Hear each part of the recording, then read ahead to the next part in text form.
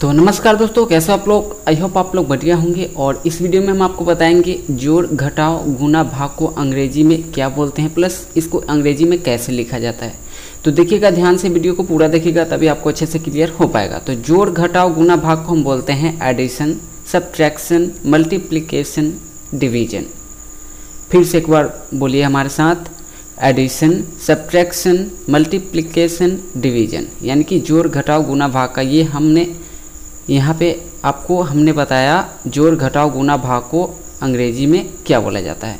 तो I hope आपको ये दिख गया होगा जोड़ घटाव गुना भाग का अंग्रेज़ी में अर्थ, अंग्रेज़ी में अनुवाद, ठीक है?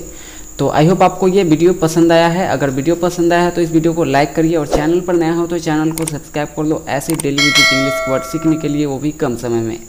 मिलते हैं नए वीडियो में। तब तक के लिए bye bye take care thank you for watching this video